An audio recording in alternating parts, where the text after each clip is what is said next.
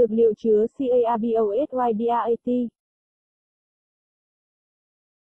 Mục tiêu học tập 1 trình bày được định nghĩa, cấu tạo và phân loại carbohydrate. 2 trình bày được khái niệm, hình dạng của tinh bột, chế biến tinh bột, định tính và công dụng của tinh bột. 3 trình bày một số dược liệu chứa tinh bột. Đại cương về CARBOSYDRAT, carbon hydrate là một hợp chất rất quan trọng đối với cơ thể sống chấm báo gồm các chất C, HO, trong đó thành phần quan trọng nhất là tinh bột khi nghiên cứu các đường đơn giản, người ta thấy cấu tạo của chúng tương ứng với công thức CN mở ngoặc đơn S2O đóng ngoặc đơn N nên gọi carbohydrate, về sau khi nghiên cứu kỹ hơn người ta thấy có một số loại đường không thể viết dưới dạng công thức chung CN mở ngoặc đơn S2O đóng ngoặc đơn N.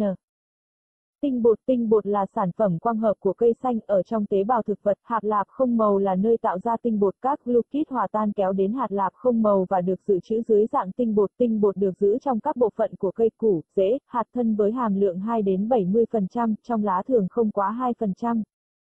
Tính chất tinh bột ở dạng hạt kích thước và hình dáng khác nhau, không tan trong nước lạnh đun với nước thì tinh bột dần dần bị hồ hóa và độ nhớt của dung dịch tăng lên. Trong quá trình hoạt động của cây, tinh bột dưới tác dụng của enzyme có sẵn trong cây bị cắt nhỏ thành đường đơn giản hòa tan được trong nước và được chuyển đến các bộ phận khác nhau của cây. Cấu trúc hóa học của tinh bột Tinh bột được cấu tạo bởi hai loại polysaccharide được gọi là amylo và amylopectin. Sự thủy phân của tinh bột khi thủy phân tinh bột bằng axit thì sản phẩm cuối cùng là gluco, C6H12O6 mở ngoặc đơn C6H10O5 N cộng S2O tạo thành N cộng 1 mở ngoặc đơn C6H12O6, sự thủy phân qua các chặng đường dextrin, erythrodextrin, manto, gluco, amylopectin khó thủy phân hơn amylo vì dây nối 14, dễ cắt hơn dây nối 16. Ngoài sự thủy phân bằng axit trong thực vật tinh bột còn bị thủy phân bằng các enzyme cắt nhỏ tinh bột thành các đường đơn giản hòa tan được trong nước, sau đó các đường này sẽ được vận chuyển đến các bộ phận khác nhau của cây. Hình dạng của tinh bột Tinh bột tồn tại trong cây dưới dạng hạt có hình dạng và kích thước khác nhau, đây là đặc điểm giúp cho việc kiểm nghiệm dược liệu chứa tinh bột về hình dạng có thể là hình cầu, hình trứng, hình nhiều góc, về kích thước đường kính từ 1 đến 100 micromet cấu tạo gồm nhiều lớp đồng tâm xếp xung quanh một điểm gọi là rốn hạt. Trong nước lạnh hình dạng tinh bột không thay đổi, khi tăng dần nhiệt độ, xảy ra 3 giai đoạn, cộng tinh bột ngậm một ít nước làm khô tinh bột trở về trạng thái ban đầu, cộng T, 60 đến 85 độ C, tinh bột nở ra, ngậm nhiều nước, dây nối hydro bị đứt không quay lại trạng thái ban đầu, cộng T cao hơn chuyển thành hồ tinh bột.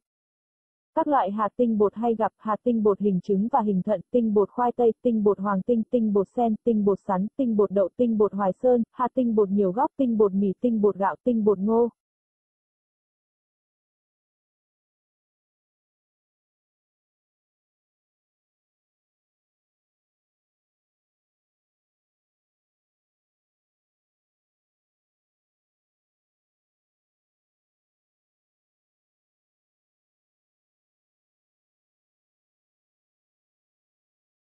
Chế tinh bột nguyên tắc chung, làm nhỏ nguyên liệu, giải phóng tinh bột ra khỏi tế bào, nhào với nước lọc qua dây, lấy phần dưới dây, cho lên men, phân hủy gluten, protein, rửa nước, phơi khô, đọc cách chế tinh bột mì và tinh bột gạo.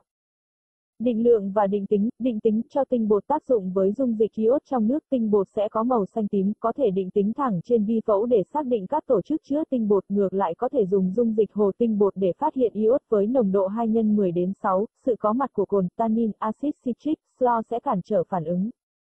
Định lượng, phương pháp thủy phân axit thủy phân trực tiếp mở ngoặc đơn HCl đóng ngoặc đơn áp dụng cho nguyên liệu chủ yếu là tinh bột thủy phân bằng enzyme rồi tiếp theo bằng axit định lượng, phương pháp không thủy phân.